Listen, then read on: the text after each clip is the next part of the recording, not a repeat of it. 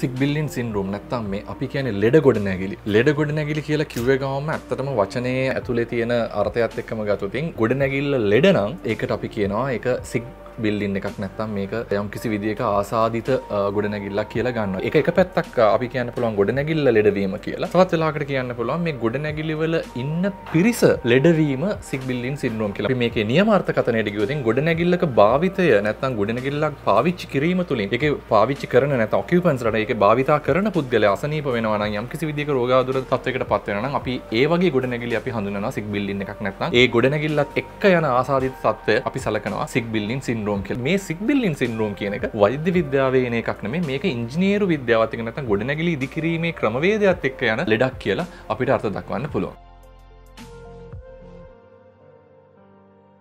ලෙඩ ගොඩනැගිල්ලක් තිබීම සහ ඒ ගොඩනැගිල්ල ඇතුළි සිටීම තුළින් මනුස්සෙක් ලෙඩ වෙනවා කියන එක අඳුරගන්න එක ලේසි නැත්නම් ලෙඩ ගොඩනැගිල්ලක් අයිඩෙන්ටිෆයි කරගෙන නැත්නම් හඳුනා ගැනීම තරම් ලේසි පහසු දෙකක් නෙමෙයි. සිග්බිල්ලින් සින්ඩ්‍රෝම් කියන එක ගොඩාක් වෙලාවට යන්නේ වායු සමීකරණය. නැත්නම් કૃතිමව තමන්ගේ ගොඩනැගිල්ල ඇතුලේ තියෙන සැප පහසුව ලබා ගන්න උත්සාහ කරපු ගොඩනැගිල්ල ඇතුලේ තමයි සිග්බිල්ලින් සින්ඩ්‍රෝම් කියන එක වැඩි වශයෙන් අපි දකින්නේ. නැත්නම් ලෙඩ ගොඩනැගිලි විදියට විශාල වශයෙන් අපි දකින්නේ මේ වායු සමනය කරපු ගොඩනැගිලි ලංකාවේ විතරක් නෙමෙයි. ලෝකෙ ගොඩාක් රටවල අපි දැකලා තියෙනවා විශාල වශයෙන් සිග්බිල්ලින් සින්ඩ්‍රෝම් නැත්නම් මේ ලෙඩ ගොඩනැගිලි කැරෙන්ට වැටෙන්නේ ඇක්ටිව් බිල්ලින්ස් නැත්තම් මේ කියන වායු සමනය කරපු ගොඩ නැගිලි. ම මෙහම කියනකොට ම කියන්නේ නැහැ ගොඩක් වෙලාවට මේ පැසිව් බිල්ලින් නැත්නම් ස්වභාවිකව තමන්ගේ කන්ෆර්ට් එක නැත්නම් සැප පහසුව සකසාගත්ත ආලෝක කරණය වාතාශ්‍රය සකසගත්ත ගොඩ නැගිලි මේ කියන ලෙඩ ගොඩ නැගිලි ගණයට වැටෙන්නේ නැහැ නමුත් බහුතරයක් ඔය වායු සමනය කරපු ගොඩ නැගිලි තමයි වැටෙන්නේ. පිතුම යා කඩිෂන් කරලා තියෙනවනම් ගොඩ නැගිල්ල අපි පුළුවන් තරම් උත්සාහ කරනවා. යා කඩිෂන් නැත්නම් වායු සමනයට පාවිච්චි කරන ඉලෙක්ට්‍රිසිටි බිල් එක නැත්නම් ඒකට භාවිතා කරන එනර්ජි එක බල ශක්තිය අවම කරගන්න. ඒකට කරන්න පුළුවන් හොඳම ක්‍රමවේදය තමයි. ඒක ඇතුළේ තියෙන වාතයට පිට වාතයත් එක්ක ගැටෙන තියෙන අවස්ථාව අයින් කරලා පුළුවන් තරම් ඒ වාතයම කූල් කරගෙන ඒ තියෙන අඩු ටෙම්පරේචර් එකේ තියෙන අඩු උෂ්ණත්වයේ තියෙන වාතයම තමයි අපි නැවතත් කූල් කරන්නේ. නැත්නම් අපි පිටින් වාතය ගන්න උත්සාහ කරොත් ඒකට වැඩිපුර බල ශක්තියක් වැය කරන්න සිද්ධ වෙනවා. මේ බල ශක්තිය අවම කර ගැනීම කියන කන්සෙප්ට් එක තරහා වායු සමීකරණ සමීකරණය කරන්න ගියකින් අපිට වෙන්න ගොඩක් කලාට එකම වාදය වාර වාරගානක් මේ ගොඩ නැගිල්ල ඇතුළේ කැරගෙනති ඒ වාතය පුංචි අපිරිසිදුතාවයක්. ඒ වාතයට එකතු වීම තුළින් වුණ කාලාන්තරයක් තිස්සේ මේ මේ ක්‍රියාවලිය සිද්ධවීම තුළින් ඒ වාතය සම්පූර්ණ අප විතත්වයට පත්වන්න පුළුවන්. මේක තමයි විශාල වශයෙන් ඒ ඇතුළ තින කන්ෆර්ට් එක සැප පහසුව ලබාගන්න වායුසමනය කරපු ගොඩ නැගිල්ල සික් බිල්ලින් සින්රෝම එක නැත්තම් මේ ලෙඩ ගොඩ නැගිල්ලක් බවට පත්වන්න තියෙන මූලිකවම් බලපාන්න අපි දැකලා තියෙනවා ගොඩක් වෙලාවට මේ ගොඩනැගිලිවල වැඩි කාලයක් ගොඩනැගිලි ඉන්න ජීවත් වෙන පිරිස්වල ප්‍රධානම අපි දකින දෙයක් තමයි හිසරදය. කැස්සෙනේ සමහර වෙලාවට අපේ ඇඟපත රිදිල්ල එන්න පුළුවන්. සමහර වෙලාවට එතනින් එහා ගිහිල්ලා මේ විටමින් D වල ඌනතාවයක් එන්න පුළුවන්. මොකද අපි පරිසරයත් එක්ක නිරාවෙන්නේ සූර්ය ශක්තිය සූර්ය කිරණ අපේ ඇඟට වැටෙන්නේ නැහැ. අපි වාහනෙන් බහිනවා වාහනෙන් පැහැලා මේ ගොඩනැගිලි කරනවා. ගොඩනැගිල්ල ඇතුලේ තියෙන કૃත්‍රිම වෙන ආලෝකයක් විතරයි. ඒතකොට අපි පරිසරයත් එක්ක බද්ධ වෙනවා හරි අඩුයි. එතකොට ඒ පරිසරයේ සූර්යාලෝකයෙන් එන විටමින් D ප්‍රමාණය අපිට අඩුයි. ඒතර විටමින් D ඌනතාවයෙන් හින්දා අපිට නැවතත් ශරීරය අපහසුතාවයෙන් එන්න පුළුවන් කම්මැලි ගතියක් එන්න පුළුවන්. මේ හැම දෙයක්ම මේ සික් බිල්ඩින් සින්ඩ්‍රෝම් එක ඇතුළේ තියෙන ඒක මම කිය. මේක වෛද්‍යවරයෙකුට හොඳ හොයාගන්න පුළුවන් දෙයක් නෙමෙයි. මේක අපේ ශරීරය ඇතුළෙන් ඇති වෙන දෙයක්. අපි සමහරවිට කාබන් ඩයොක්සයිඩ් ප්‍රමාණය වැඩි වෙනවා නම් කාමරේ අපිට නිදිමත ගතියක් එන්න පුළුවන්. අපි ඒකයි දකින්නේ සමහරවිට AC කරපු බස් එකක් ඇතුළේ අපිට වැඩිපුර නිදිමත ගතියක් එන්නේ. ඔය කාබන් ඩයොක්සයිඩ් ප්‍රමාණය වැඩි හින්දා ඒ වගේ තත්ත්වයක් වැඩ කරන ආයතන ඇතුළේ ඇති වෙන්නත් පුළුවන්. ඉතින් මේ හැම දෙයක්ම ලෙඩ ගොඩ නැගිලි නැත්නම් සික් බිල්ඩින්ස් ඇතුළේ තියෙන්න පුළුවන්.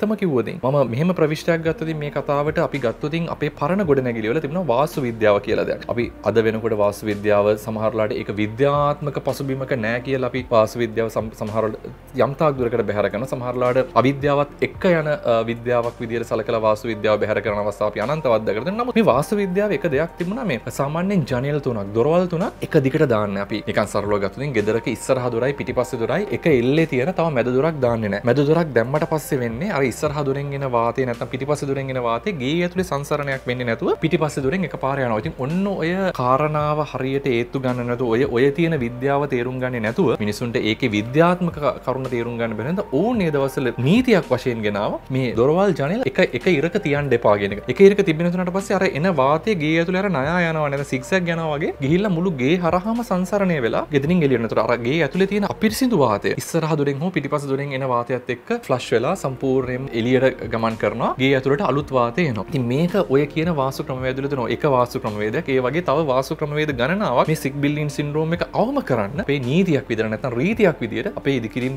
ක්‍රමවේදවලට ආව. නමුත් අපි නැවතත් අර මම උත්සාහ කරොතින් අපේ පරණ ගේකුයි අලුත් ගෙදරකුයි සංසන්ධනය කරන්න අපි දැන් දැන් නිදාගන්න කාමරේ AC කරලා හොඳ සැප පහසුවෙන් ඉන්න පුළුවන්. නමුත් අපි කිසිම දවසක අපේ ගෙදර තියෙන කොට්ට මෙට්ට අවුවර දානවා නොවෙන්න පුළුවන්. නමුත් ඒ කාලේ අපිට මතකයි අපේ අම්මලා තාත්තලා හැම සෙනසුරාදිරිදම කොට්ටේ මෙට්ටේ අරන් ගිහලා අවුවට දාන. ඒ දේ තුළින් අර කොට්ටේ මෙට්ට අපේ දාඩියත් එක්ක හැදෙන දූෂකාරක නැත්තං ඒක තියෙන බැක්ටීරයා ආසාධිතත්ව පහවයන්න ක්‍රමවේදශනති මේ මේවා මෙවා ආවේ විද්‍යාවත් එක්කනේ මේක අපේ ආවේ අපේ අත්දැකීම් එක. මේක අපේ අපේ අපේ පරිසරයෙන් අපිට දීපු දායාදයක්. අපේ අම්මතාත් අපිට අපි අපිට දුල දෙපු ආවාශයක් නමුත් අපි දැනගෙන හිටිය මේකින් හොඳක් වෙනවා කියලමුකද ඒක පරම්පරා ගානක් තිස්සේ ආපු දැනුමක්. නමුත් අවාසනාවකට මේ අපේ තියෙන සංකීර්ණ සමාජය තුළේ ඔය දේවල් ප්‍රක්ටිස් නොකරනවා වෙන්න පුළන්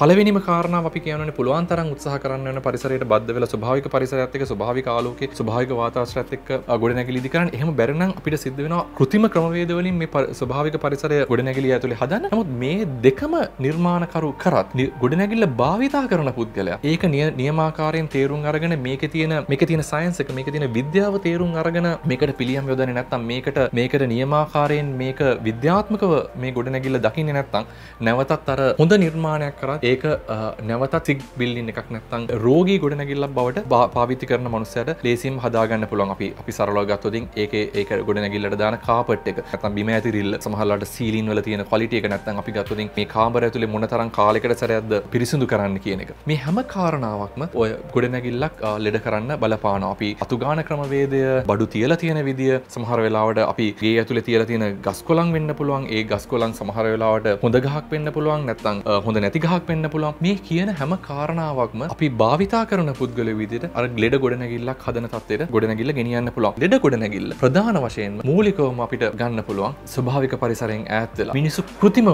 ජීවත් වෙන්න හදපු ව්‍යායාමයේ එක්තරා පැතිකඩක් කියලා.